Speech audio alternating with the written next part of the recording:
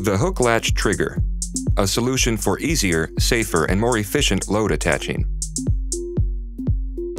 When a hook is equipped with a hook latch trigger, the latch can be fixed to the open position by pushing it towards the hook forging while lifting the trigger.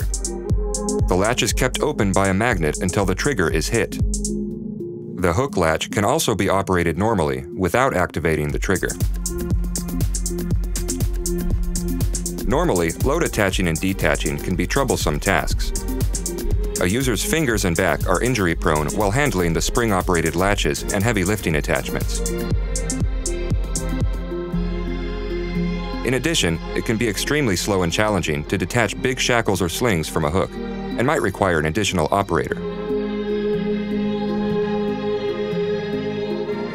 The hook latch trigger reduces injury risks both hands are free to insert and remove the hook attachments.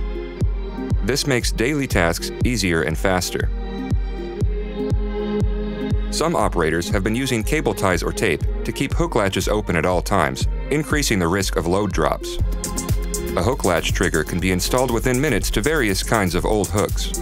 Owners might be able to upgrade their whole crane fleet and benefit from a uniform hook standard. It's a quick and easy upgrade. A hook latch trigger makes handling of hook attachments fast and easy, enhancing safety and productivity.